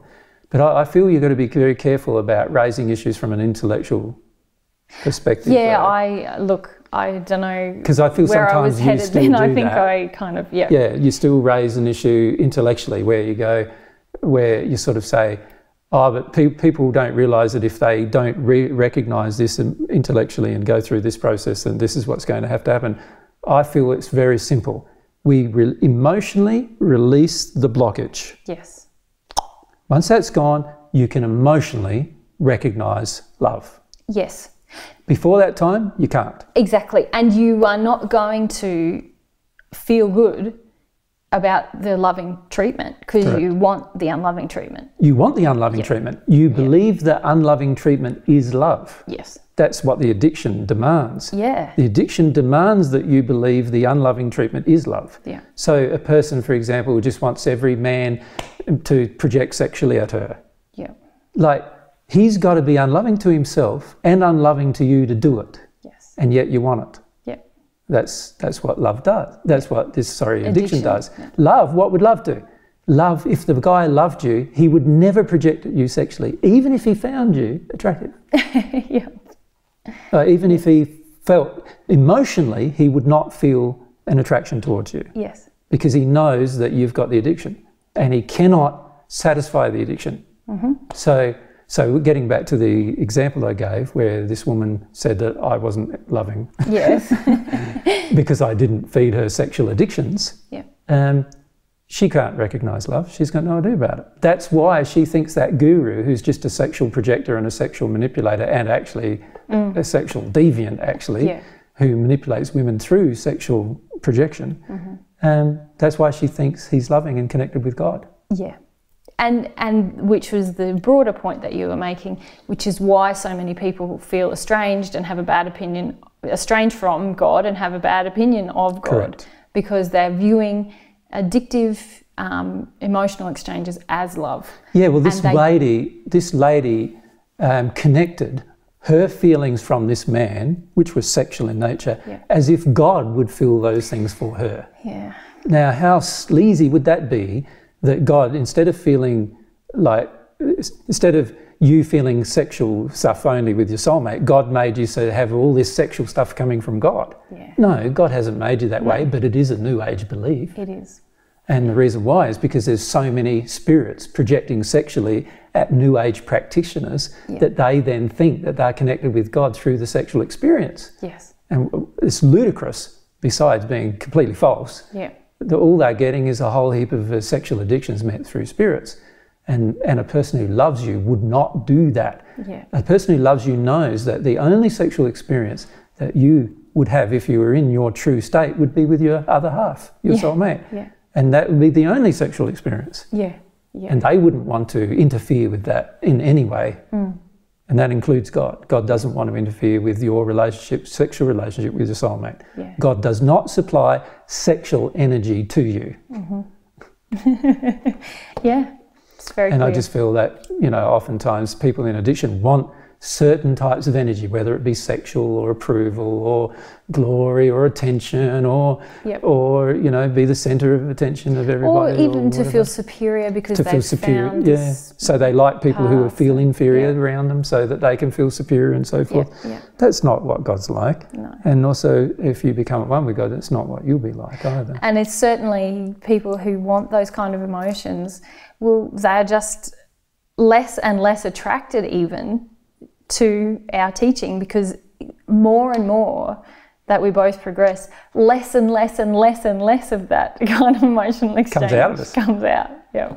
So, of course, they're not going to be satisfied. Yeah. So, eventually, they'll find an excuse to leave. Send us a uh, breakup letter. yeah.